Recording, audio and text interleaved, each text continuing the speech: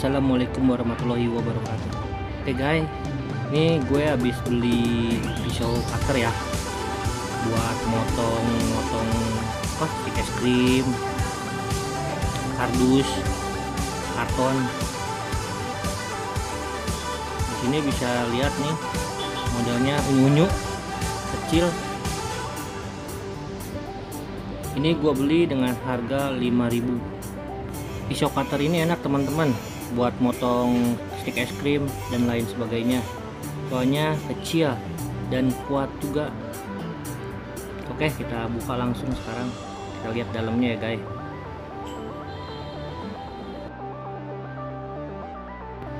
Oh ya gua pakai pisau kecil gini biar simple aja sih guys.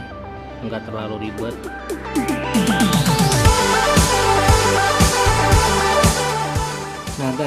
kayak gini nih guys. Ini pisau tajam banget guys. Yang pasti kuat awet dan gak mudah patah. Semoga video ini bermanfaat nih buat teman-teman yang lagi nyari pisau buat motong stick es krim atau kardus guys. Jangan lupa di subscribe ya teman-teman